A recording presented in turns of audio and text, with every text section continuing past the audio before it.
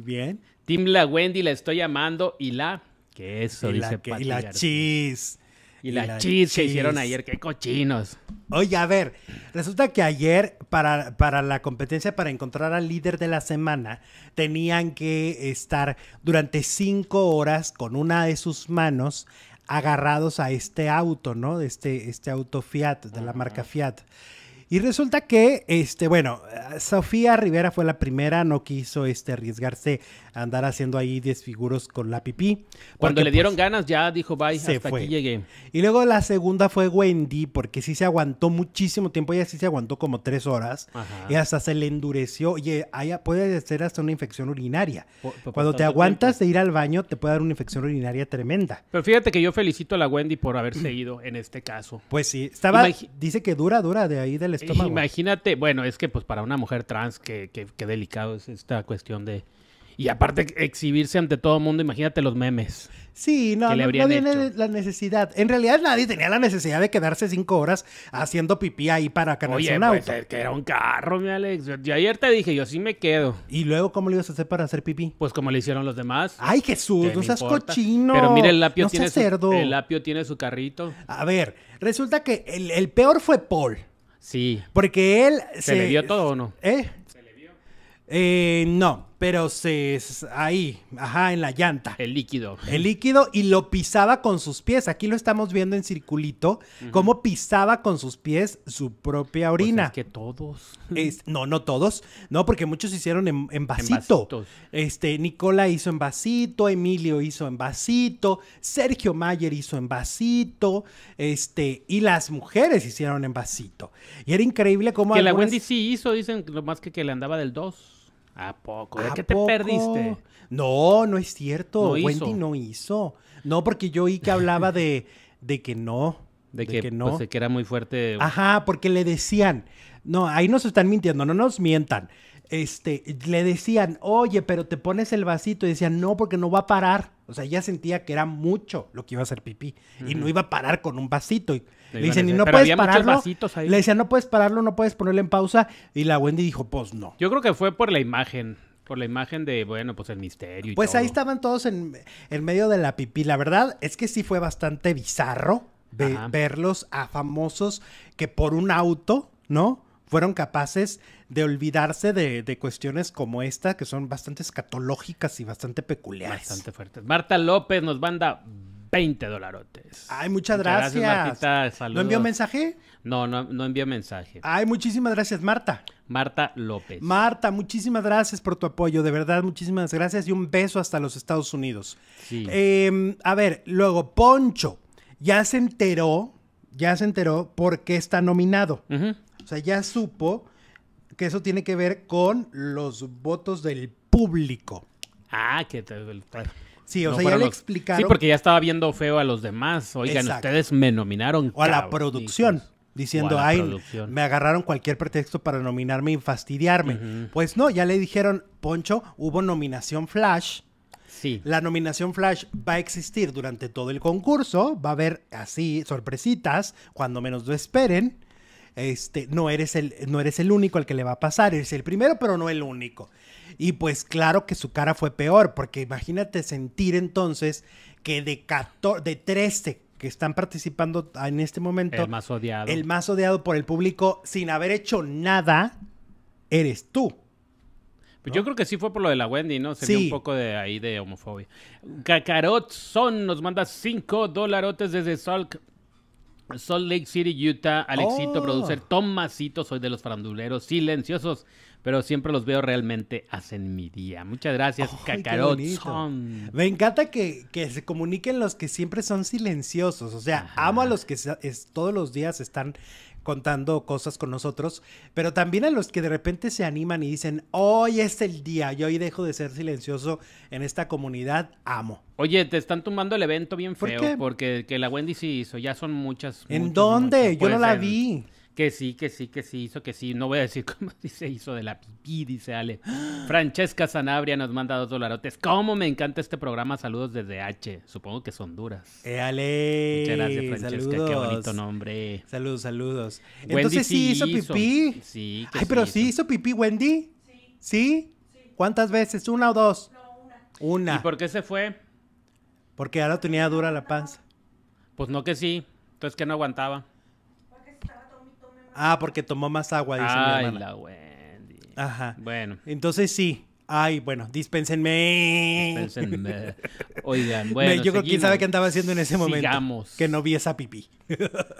Andabas en el Fíjense, baño. el- Andabas en el baño. Pero te fijas en la discusión que tenemos de que si hizo pipí o no hizo pipí. Oye, pues es que eso, eso es lo que hay. es lo que hay. Si la vida te da limón. Bueno, ahora, fíjate que la gente ama y yo también amo a Wendy. O sea, las anécdotas Yo que también. cuenta. Con papas, hijo. Ay, Jesús, esas son las hamburguesas. No, este, ¿sabes? Las cosas que cuenta, las cosas que cuenta. Porque además, ayer decía algo muy cierto Poncho de Nigris junto con Sergio Mayer, que cuenta cosas tan soez a veces, es tan soez en sus, en sus Ujú. historias, pero como no las cuenta con morbo, ni victimizándose, ni nada, eso resulta una anécdota que a veces me estoy riendo de esto y no es para reírse. Es o sea, humor negro involuntario. Sí, o sea, de repente dice, ay, pues a mí me violaron de chiquita y me hicieron esto y, todos así de que... Y lo cuenta como si estuviera diciendo, contando la novela. Te lo juro. Y luego también dice, no, este, es que ese novio que luego me balació la puerta, que es no que sé- le pasan cosas bien. eh, Es como de las que atraen a las cosas Las fuertes. desgracias. No mataron a un chavo en, en la producción de ella y luego después, como que también hubo algo parecido en Eh, León. eh, atrae las desgracias, mi Wendy, ¿verdad? Ajá. Ay, no se nos vaya a morir alguien en la casa de los Ah, famosos. Que diga, ay, sí, ahí estaba yo en la cocina cuando se murió. A ver, ya se va alguien. A ver, es que cuenta las historias, la verdad, cuenta las historias muy divertidas, a pesar de que son historias muy fuertes, ¿no? Sí. Anoche les estaba dando una cátedra de, de las chicas trans que se prostituyen. Ah. Está diciendo en dónde, o sea, yo que yo la verdad ni sabía dónde, ya dijo ahí las calles. Tlalpan. Dijo, en esta calle ahí hay unas camionetas, ahí te dan el servicio, luego te dicen, ay, mira, mijito, váyase para su casa. Este, y lo explicó todo así con lujo de detalle. En serio, es un personaje que como no tiene caretas, pues resulta muy entretenido. Muy entretenido. Hace unas cosas y luego ayer, por ejemplo, va pasando Paul Stanley y le dice, ¿a dónde vas, panzona? Le hubiera dicho al, al Poncho de Nigris y se, le- se devuelve y le da un cate. Sí, porque el Poncho, eh, no, no, no, el Poncho todo el tiempo está diciendo su edad. A mi Poncho les debo decir, ah, bueno, vamos a hablar de los quereres, a ver a quién le vamos. A mí Poncho, la verdad, no me cae tampoco mal. Es, es un personaje que siento que habla desde su, desde su conocimiento, desde su privilegio, desde su ignorancia a veces, ¿no? Ajá. Es decir, es él. O sea, no podemos exigirle a alguien que no sea él. Y aunque en, en medio de eso sí hay comentarios medio raros a veces, también lo ha dicho, me declaro ignorante en el tema LGBT, me declaro ignorante en esto. Eh, o sea, si me equivoco, pues díganmelo, porque no sé cómo dirigirme, porque no sé cómo hacer, porque no sé qué esto. Entonces sí me parece un personaje muy auténtico.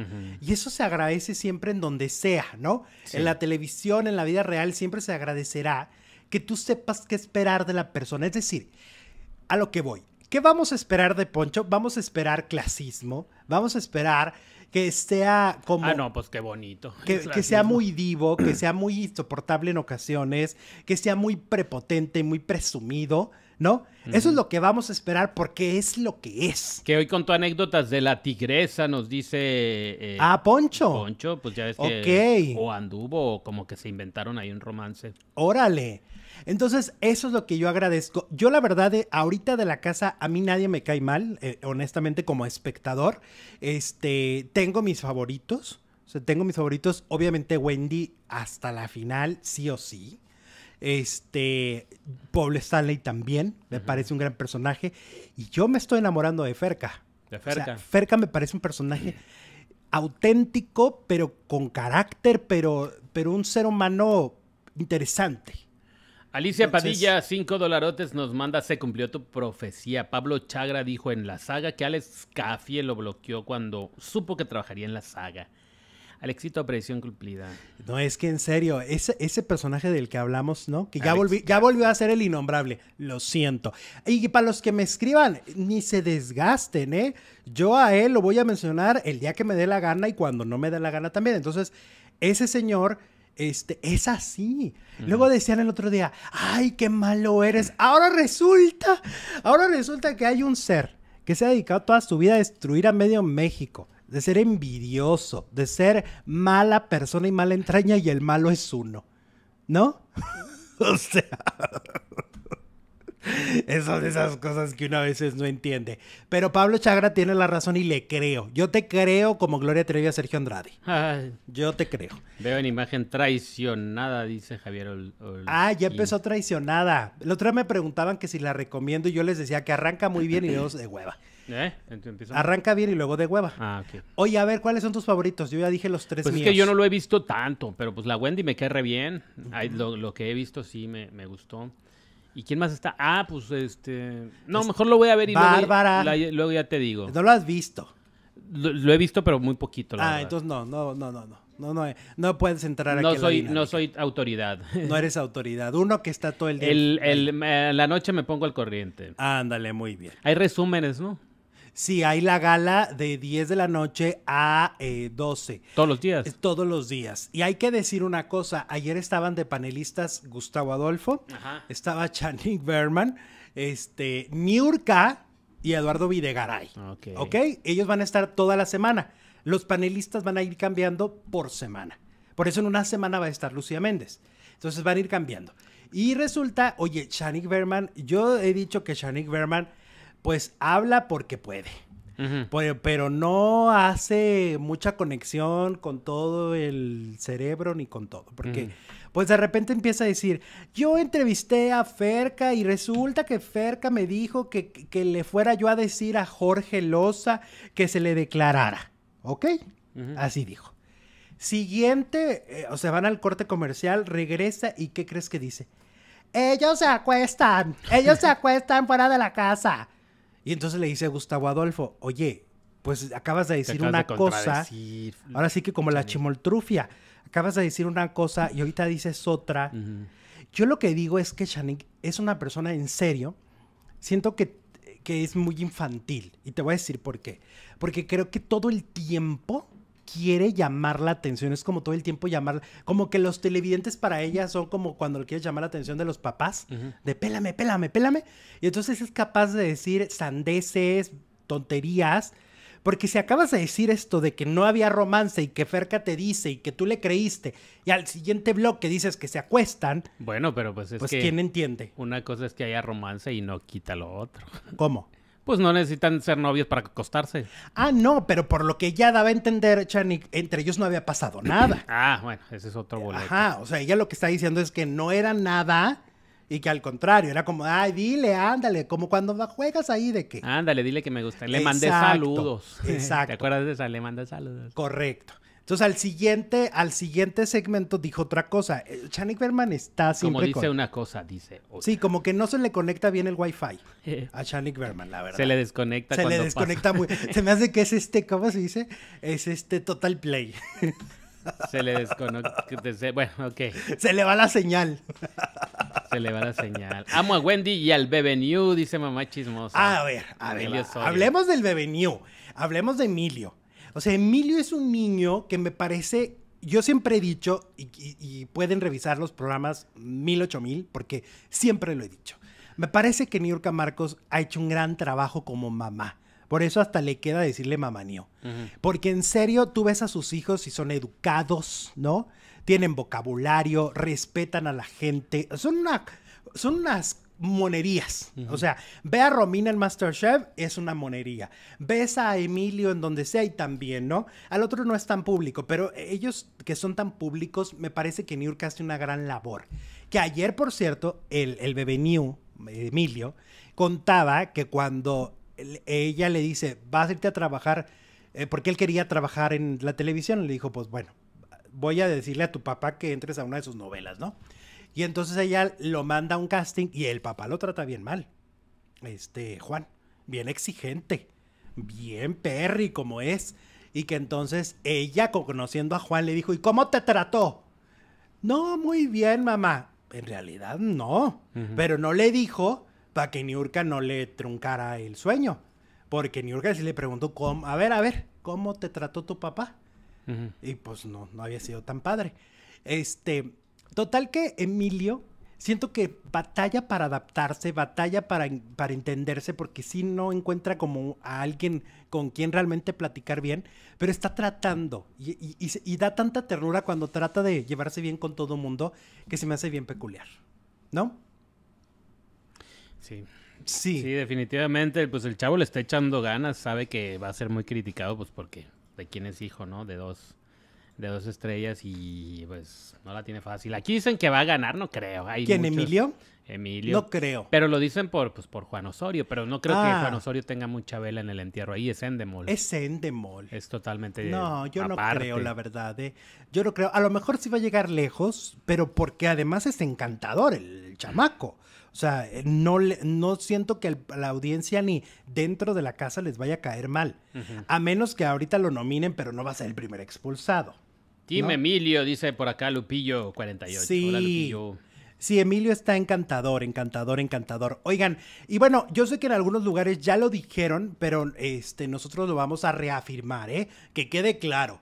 Vamos a reafirmar la información, aunque ya se dijo en algunos espacios. La integrante número 14 de la casa es la Barbie Juárez. Sí, va a ser la Barbie, boxeadora. Sí, porque se habla mucho de Carla Panini, por eso está en pantalla. Se habla mucho de que Carla Panini o la Barbie Suárez. Es la Barbie Suárez, la integrante número 14.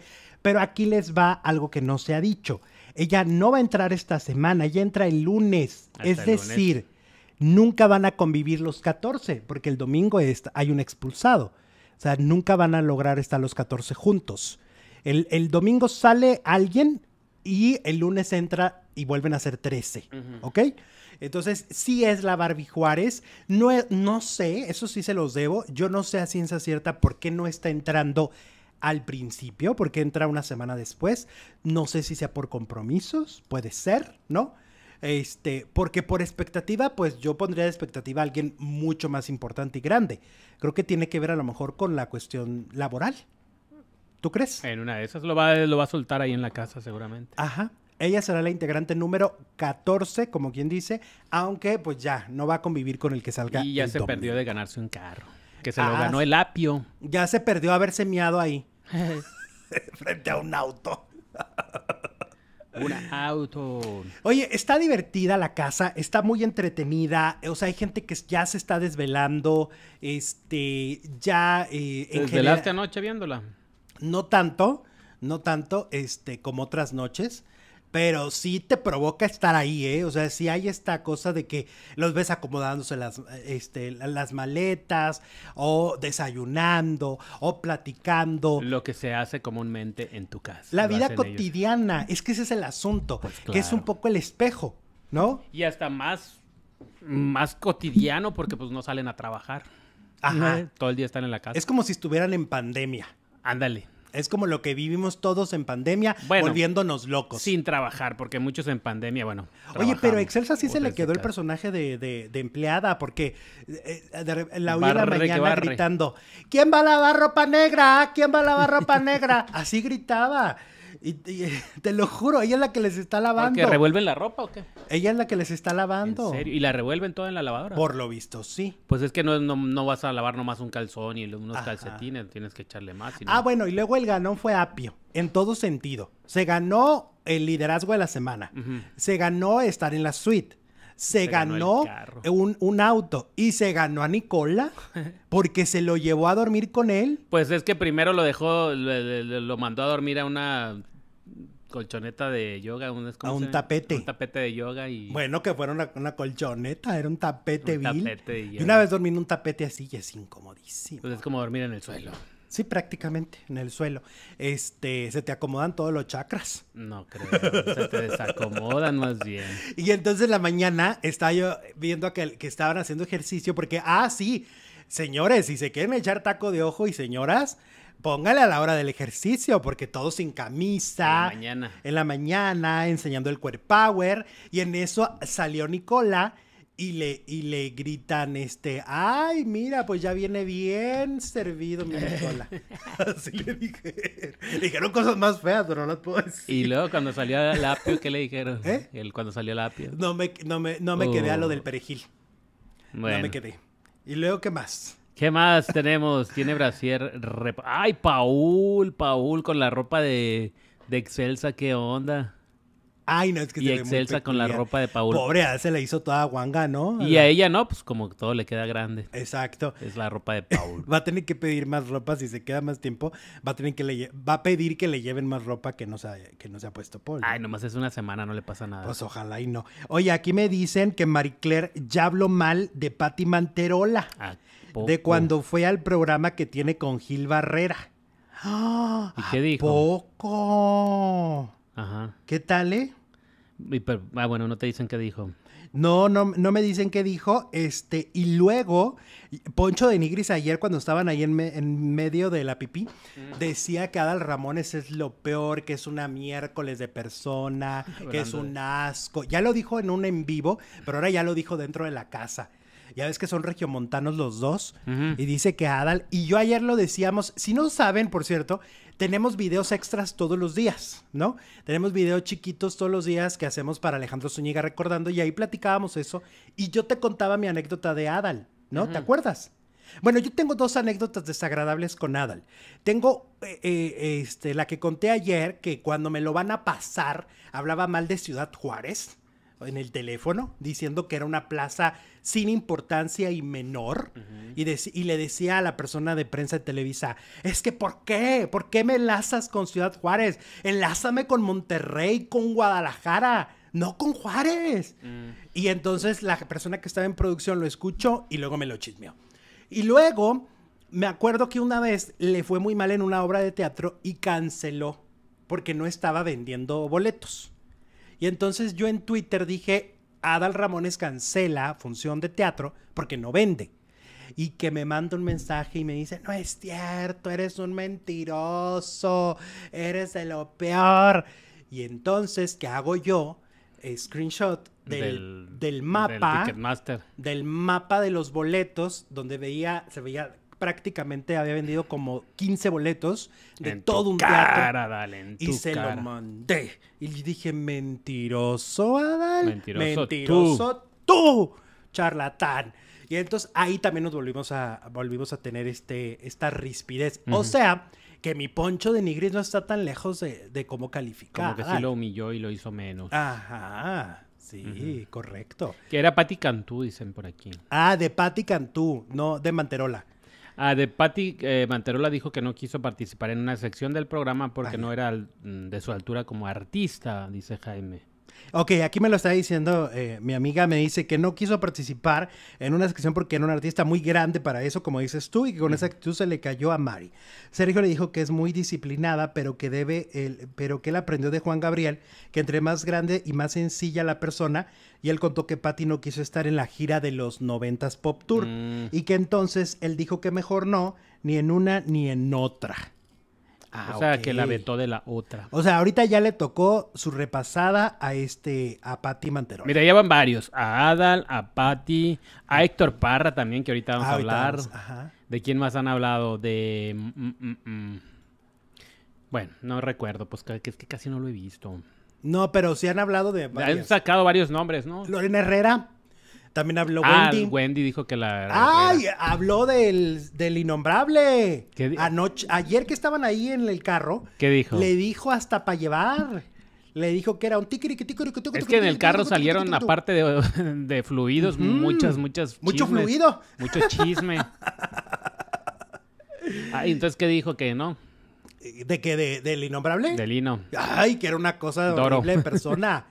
que era un ser espantoso. Ah, sí. Sí, por dos, mi Wendy, por dos. sí, Más. Team Wendy. Sí, de Joaquín Bondoni, dicen por aquí. Ah, pues Emilio, habló de Joaquín. Emilio. ¿Qué dijo? ¿Qué dijo?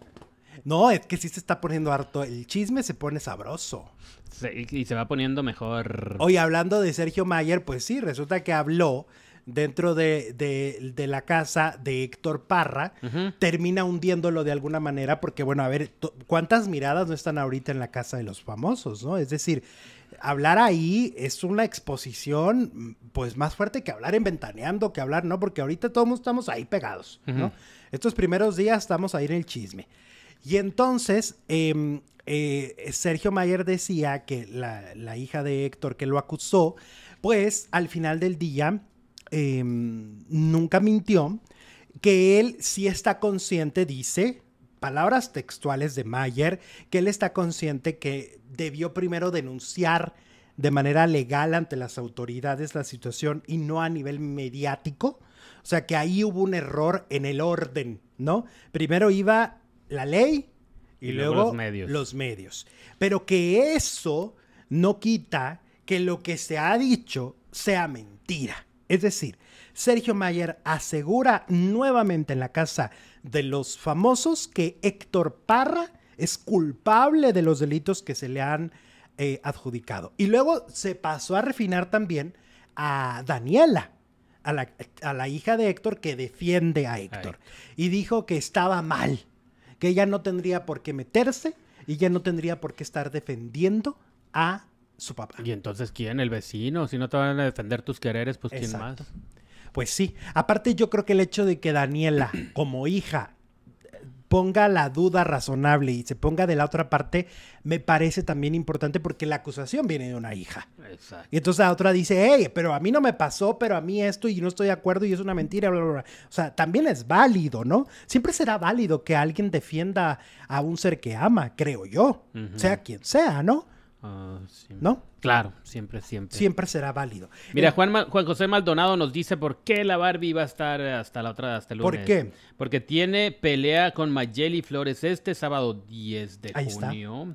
Eh, su última pelea en los Estados Unidos antes de su retiro. ¿Ya se va a retirar?